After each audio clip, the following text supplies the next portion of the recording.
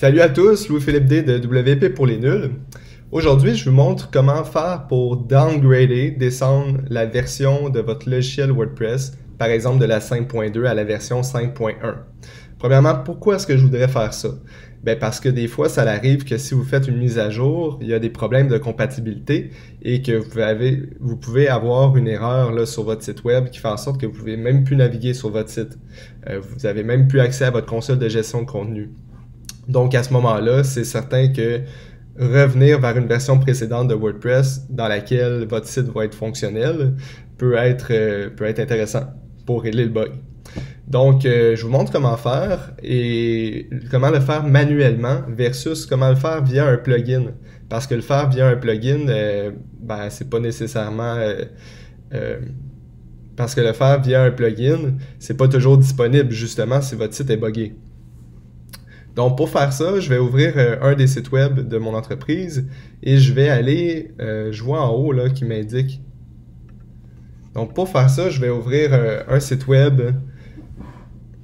Donc pour faire ça, je vais ouvrir la console de WordPress pour un site internet et quand je vois juste en haut la notice qui dit la nouvelle version de WordPress est disponible, ben, ça me dit que ma version de WordPress n'est pas à jour. Donc ce que je vais faire, premièrement, je vais la mettre à jour juste ici, je vais cliquer sur mettre à jour maintenant, ce qui va me donner l'installation de la dernière version de WordPress. Puis sur ce serveur-là, la mise à jour est un petit peu plus lente. Donc en attendant, je vais vous montrer comment faire.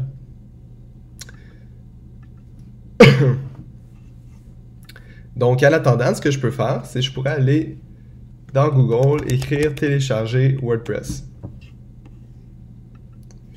Je vais cliquer sur le premier résultat. Et là, on voit qu'il me propose de télécharger la version 5.2.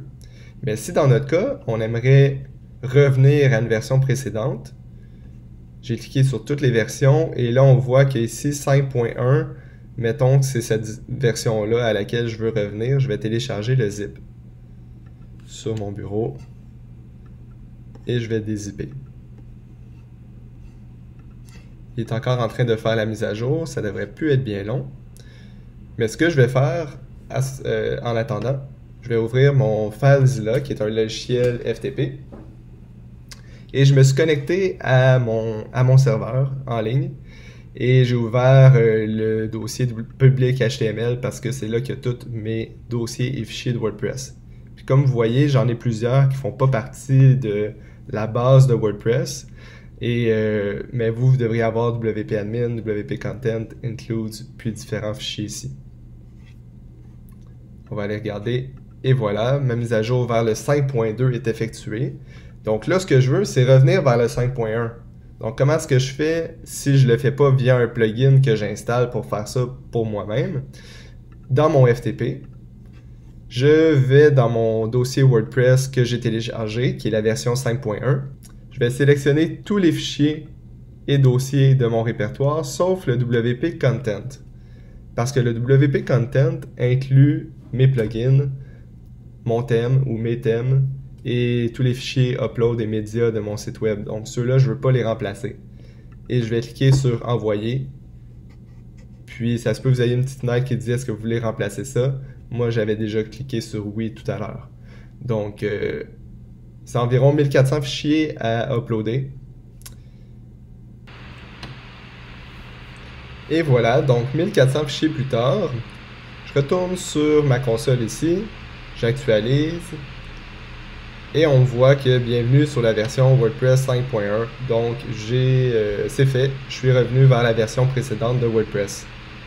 Donc si vous avez apprécié la vidéo, je vous incite à cliquer sur le j'aime de YouTube et ou de vous inscrire à la chaîne YouTube de WP pour les nuls.